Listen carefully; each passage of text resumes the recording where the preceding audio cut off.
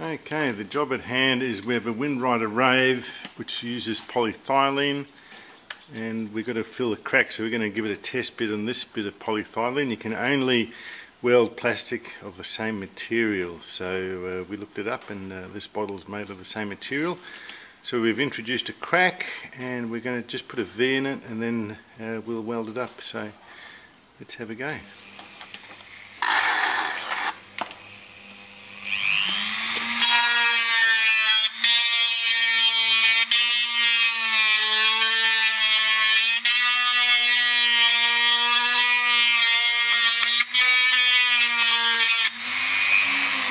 So it's just like welding with metal. We want to create a V, 45 degree angles.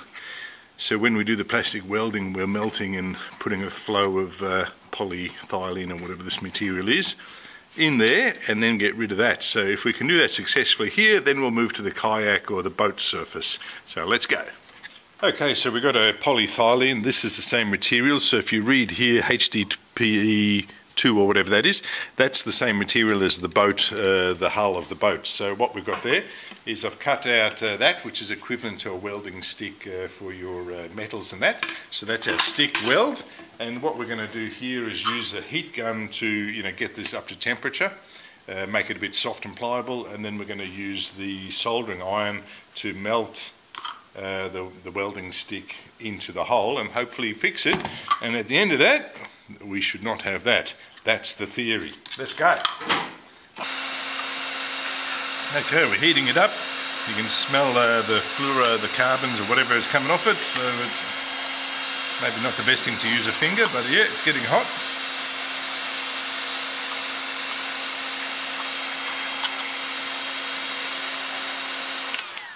Alright, so that's getting nice and hot. And how about that? Alright, so that's starting to melt. So let's... Uh,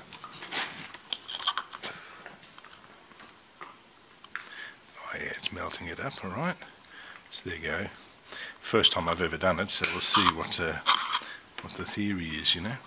So just like a stick weld, I'm just going to try and put it in there, like melt it in, just and pull it. Just like what I've seen all the metal welding guys do on YouTube.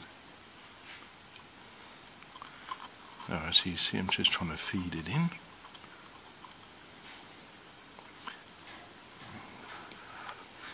The old modeler's blow on it.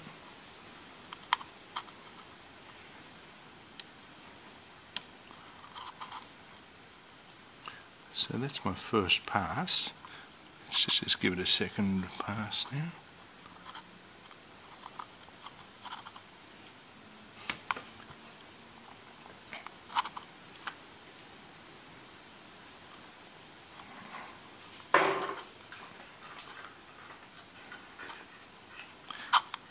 Okay. So this is patted in there, I guess.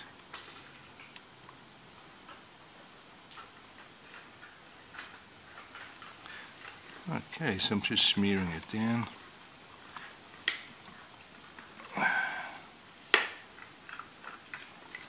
Okay, I'm going to call that done.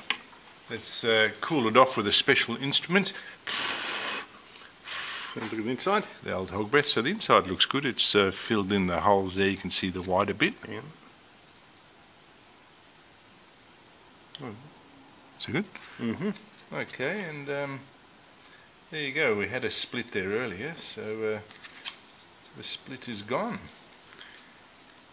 Wow. The old shop inspector. Hmm? Ooh. Start again. Oh, look at that, it's strong. I'm trying to pull it apart. I mean, that is factory finish. That is good right, stuff. Pull it up and see if anything right. drips out of it. So put it up high and let me have a look underneath it. Hang on. There you go. It's not leaking. That's a success. Alright, let's go and do the rave. Give it here and we can start we can start welding.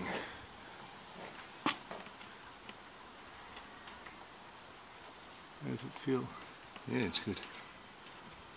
I'm just making a V so that, you know, our material can sit into the, to the V.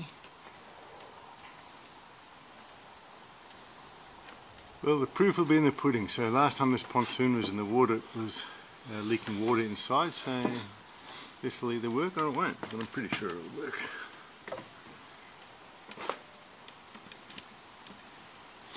Now, just like a sticker weld, I'm just going to uh, try and pull it in there. Heat up so it flows.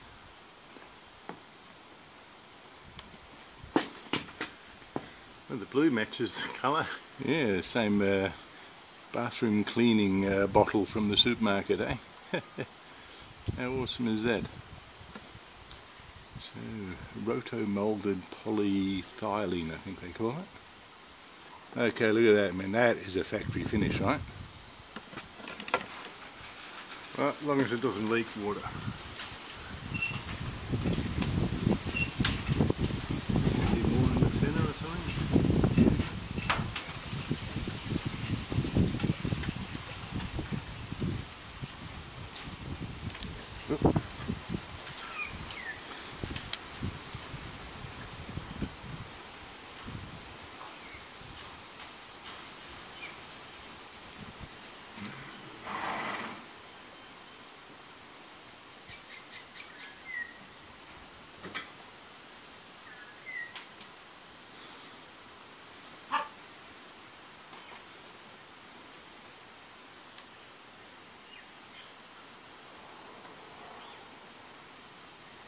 sort of pooling up nice.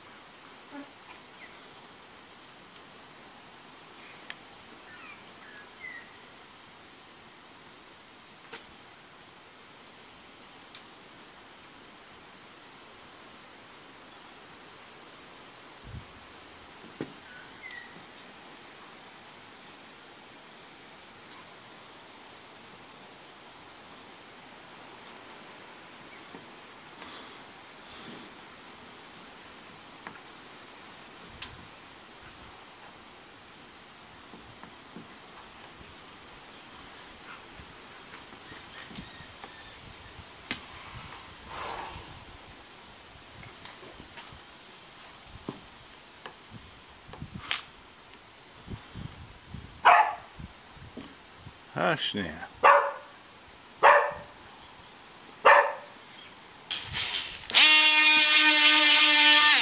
Just a quick sand.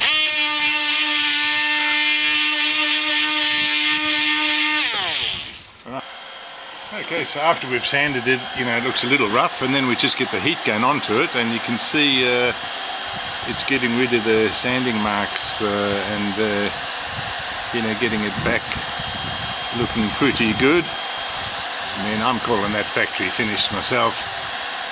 And uh, yeah, so uh, after you've sanded it, hit it with a heat gun. And uh, there you go, it doesn't look too bad at all. Let's give this bit here a go. And then we'll be able to polish the hull up and hey, you know, it's, uh, it's all going to be good. There you go, what do you reckon? On to the next job. Pretty good. Right, once you've sanded it, put the heat gun and it gets the blue back out.